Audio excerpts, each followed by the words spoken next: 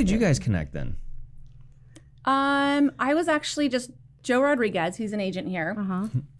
and I had actually interviewed with Adam Nelson Mhm. before I was getting ready to go back to work full time. So I'm like, when my daughter turns three, I'm going to go back to work full time.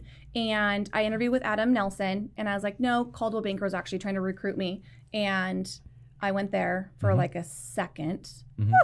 It was a big mistake of a 2nd Mhm. Um, anyway, so I was driving here, and Joe Rodriguez was on his way to his office because this place was she was just opening the doors.